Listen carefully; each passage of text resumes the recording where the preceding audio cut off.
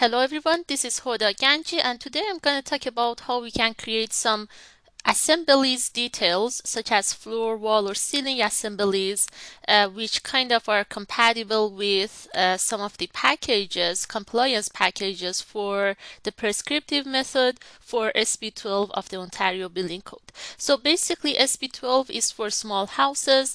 Uh, assume that we are going to build a new small house uh, in Toronto. Uh, first we need to select the correct package from the correct table, right? In order to find the table, first we need to know the heating degree days. Uh, if you check SB1 of Ontario Building Code, you see that in Toronto is 3520. And uh, because this is less than 5000, it's a zone 1 okay and we want to work in SI or metric system. So uh, you see that in the first table of the chapter 3, uh, which is table 3.1.1.2a, it's SI, the units, and it's in zone 1, which means the heating degree days are less than 5,000. So let's say I assume I want to go with like package A1. How does it work? It means that uh, I need to follow this whole column here. So for instance, if I have a floor and it's an exposed floor, the minimum effective RSI is going to be 5.25 okay? Now I want to come up with a detail and I want to suggest uh, an effective RSI which is 525 or more. If it's exactly 525 it means that we are meeting the code. If it's more we are exceeding the code so let's work on the details of the floor assembly first. If you go to SB12, you see under the appendix of the SB12, there is an example of an exposed floor. Okay, so I actually created that here and I want to draw uh, kind of a 2D drawing for this detail and I want to show you how we can come up with other values. If we start from the exterior layer, if this is an exposed floor, first we have the air film exterior, and then we have the gypsum board. We have the lumber joist as for the central uh, structure of the floor, and uh, the distances between the joists are filled with insulation. Uh, we have polyethylene, OSB, carpet, and air film interior. If you go to this link, which is uh, the National Resources of Canada and nrcan.gc.ca, uh, there is an option here for floors over unheated spaces. And I want to show you how this works. So uh, this menu here, the lumber joist that we had, it was 2 by 10 that's the size of the lumber. And uh, they are every 16 inches center to center. So let me find that one first uh, so 2 by 10, 16 inches. The first table for the floors, uh, table FL1 is 2 by 4. The FL2 is 2 by 6. Table FL4 is for 2 by 10.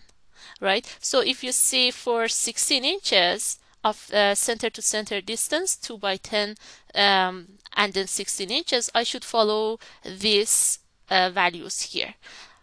Now, if I get back, you see it says the nominal cavity fill is actually RSI 5.46. Uh, that means the RSI of the insulation is 5.46 in metric system.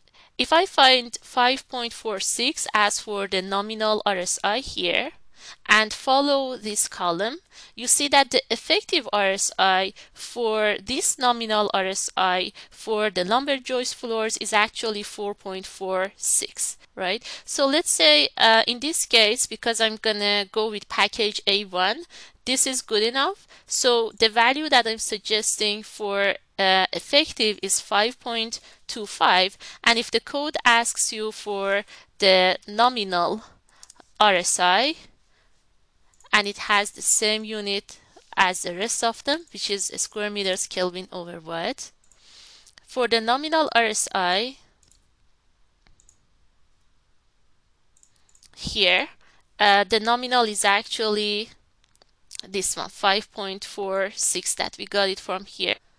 This exactly meets the code. So this is the floor that I want to go with. Let me draw this uh, detail in AutoCAD. Uh, so I have like about seven layers here. I don't need to draw the air layers in this case. So the first layer on the interior is actually the carpet. Let's say this side is interior um, and that side is exterior. How about I go back here? Uh, how about I go here, type, use text, and I want to say interior. On the other side here, I want to have another text, and this is going to be exterior. That means we have the airflow around here on the outside, and we have the air film on that side. If I start from the exterior, the first layer that we have is actually the gypsum board, which is 12.7 millimeters. I want to come back here, type UN to check the units here. I want it to be on, actually decimal is good, but I want it to be on millimeters. Uh, precision, how about I go with 0.0? Okay, now I want to draw the first layer on the exterior, which is the gypsum board. I want to use F8 and I want to uh, offset this by 12.7 millimeters on this side. I want to move this text up. I want to change uh, the scale of this text. I want to make it 10 times larger. This as well.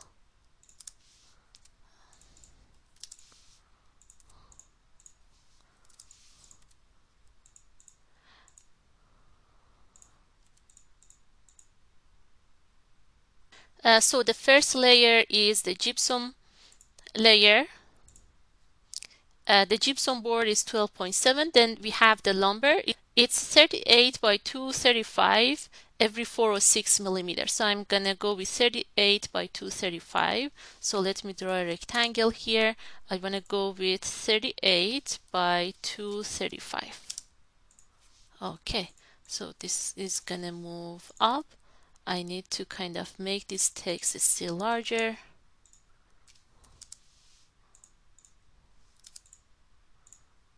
And this one as well. Uh, I want to extend the lines over there. Okay, there we go. So uh, this is one of my joists. This is 38 by 235 millimeters. So you see this part is 38, this part is 235. I need to turn on the snap for midpoint. Right now I want to copy this 406 millimeters away. So this is my another joist and I can uh, put this kind of line here to show that this is a joist okay. So uh, we draw the gypsum board we draw the joist. Uh, then we have the polyethylene vapor barrier. I just want to draw a line because uh, we don't actually need to assign a thickness to that. It's not gonna affect uh, the insulation. Then we have the 15.5 millimeters OSB so I want to offset this layer by 15.5 on this side. And finally, we have the carpet and underpad. As for the last layer, the carpet and underpad, we don't exactly know uh, the thickness, so I'm gonna actually offset this last layer by some value and uh, I want to just mention as required right? So now I can uh, type some text here. How about I copy and paste this text? So the first layer at the top is the carpet.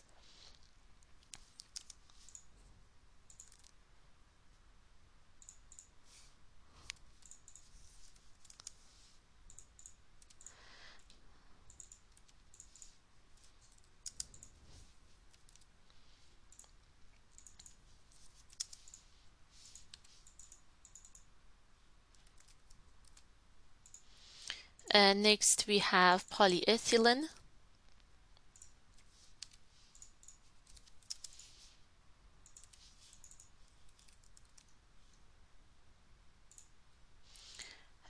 Uh, then we have the lumber.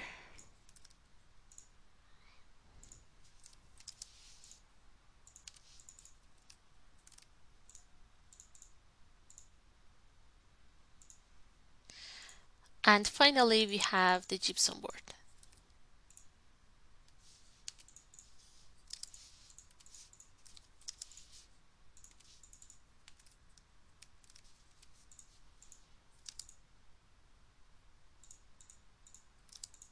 Uh, we can add some annotations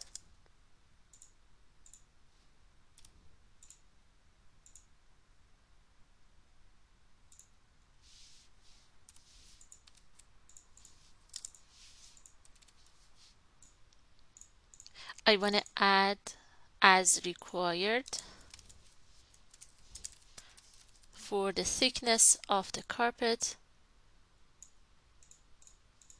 And we can add the hatch of course. Uh, we can add layers. I can add a layer for my annotations and move them all to that layer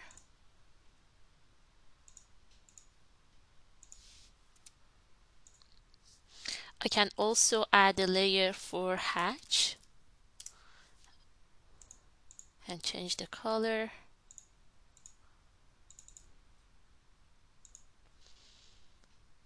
I'm gonna turn the annotation layer off and we can add some hatch here.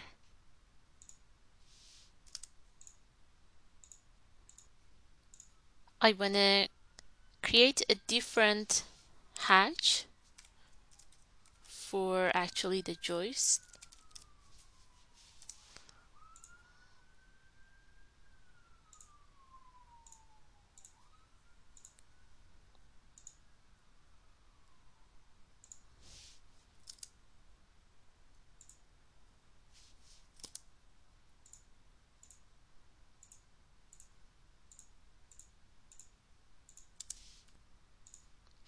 and I want to create another layer for the vapor barrier. And I want to assign a different value to the line weight something thick.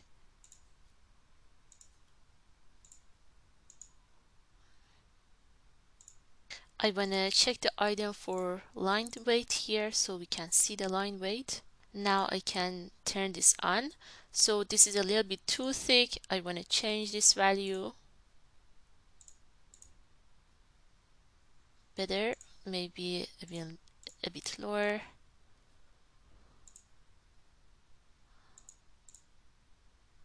Okay and I can change the default here as well. So it's gonna be a little bit thicker for these other layers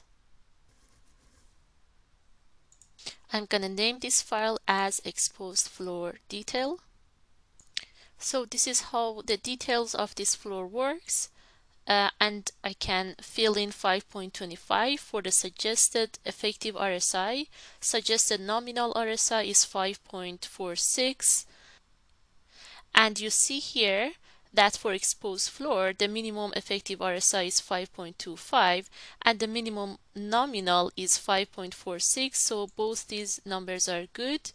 Uh, and we are using table 3.112a uh, because it's uh, under 5000 this is zone 1 and uh, the annual fuel utilization efficiency is 95% which is more than 92%